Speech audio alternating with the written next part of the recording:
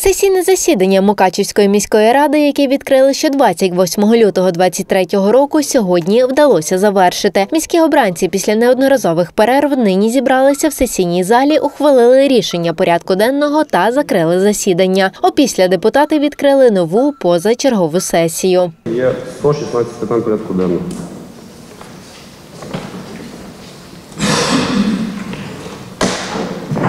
Згідно цього розпорядження, пропоную зараз розпочати позачергову сесію Мукачівської міської ради.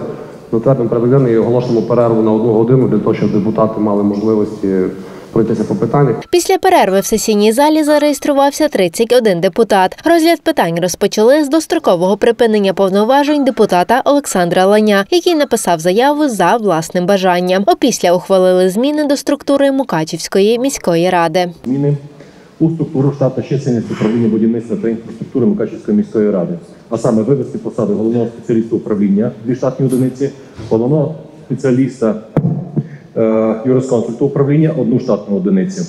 Е, Ввести посаду головного спеціаліста з питань бухгалтерського обліку та звітності управління одну штатну одиницю.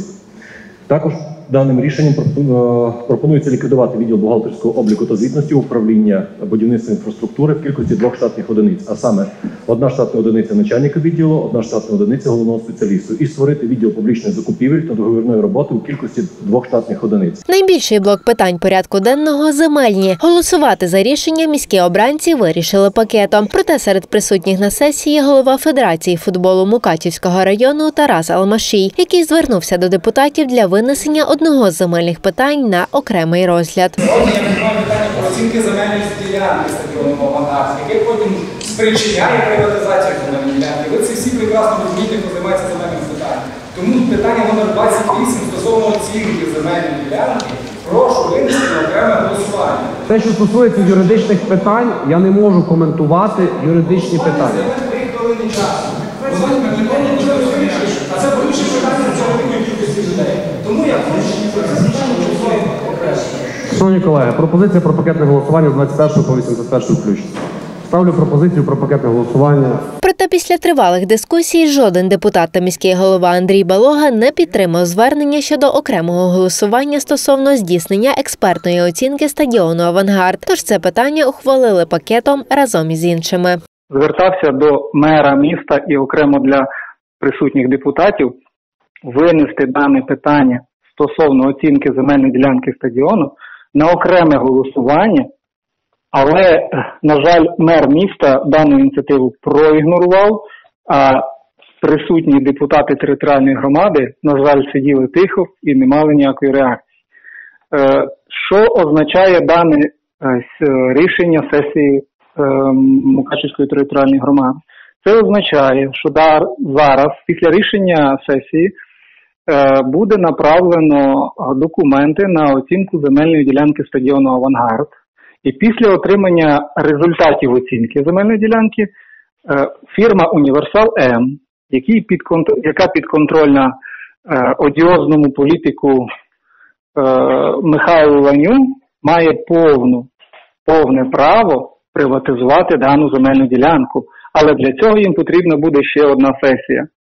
Також на засіданні затвердили програму компенсації частини тарифу на водопостачання та водовідведення із міського бюджету за рахунок скорочення видатків по інших напрямках на період воєнного стану. Затвердити е, програму покриття різниці в тарифах, який був збільшений е, на період, коли розроблялась і пропонувалась програма. е, Передбачалось з бюджету виділити 26,6 мільйонів гривень на покриття таких тарифів.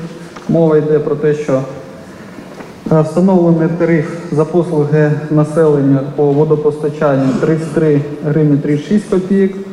Зробити тимчасову вартість 24,25 і різниця 9 гривень 11 копійок. Е, На послуги з водовідведення по населенню це 16 гривень 47 копійок. Тимчасова вартість послуг, яка фактично застосована, 12,75. Різниця 3 гривні 72 копійки. Також на засіданні депутати ухвалили низку бюджетних програм та змін до них, які стосуються забезпечення життєдіяльності громади, спрямували кошти на соціально-медичний захист жителів та прийняли програму співфінансування капітальних ремонтів багатоквартирних житлових будинків. Також погодили зміни до бюджету, завдяки яким виділили кошти для військових та придбали для них два квадрокоптери з тепловізорами.